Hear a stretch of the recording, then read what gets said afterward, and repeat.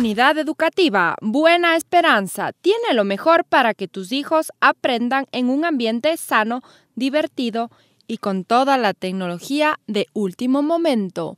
Hola amigos, me encuentro aquí en el Salón de la Ciudad con el doctor, él es rector de la, de la Unidad Educativa Buena Esperanza, así que nos va a contar un poquito qué es lo que tiene.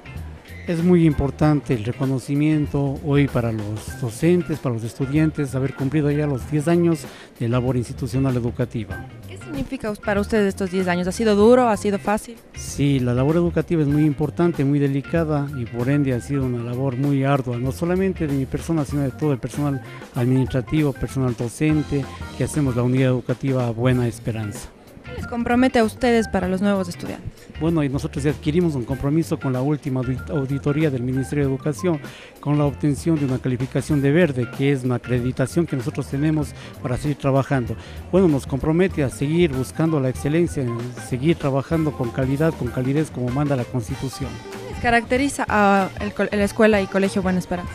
Lo que nos caracteriza justamente es crear un ambiente de calidez, de calidad, un ambiente familiar, que los estudiantes no solamente tengan un centro de estudios, sino también que verdaderamente se convierta en la segundo hogar, en la en el segunda casa que muchos los padres de familia buscamos. Es una invitación a la gente que está buscando esa escuela, ese colegio para sus hijos, para que vaya al Colegio Nueva Esperanza.